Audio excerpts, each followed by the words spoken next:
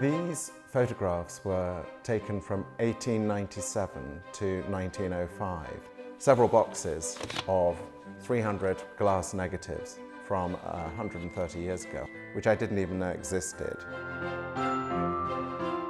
My great-grandmother, Margaret, is a rather extraordinary woman, one half of a great love story from the past in, in my family. To see these photographs, which are marked up as Margaret's own, and we, we, we absolutely sure they were her work, they are incredibly moving to see her celebrating her love of family with her creative side. To watch the entire episode, log on to spencer1508.com.